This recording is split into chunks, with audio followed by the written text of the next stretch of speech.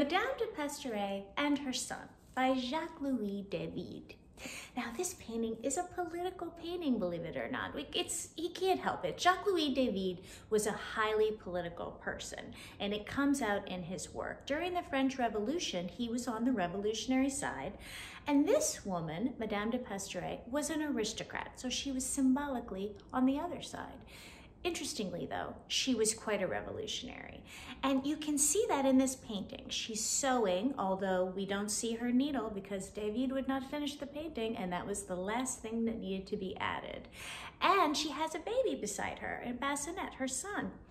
The thing that's funny is she was a revolutionary with women and was supporting working women. She started day nurseries in France so that working women could go to work and leave their babies with a nursery. That was her role. So she was a revolutionary in her own way. If you like my videos, please do like and subscribe. We can all share the great news about fantastic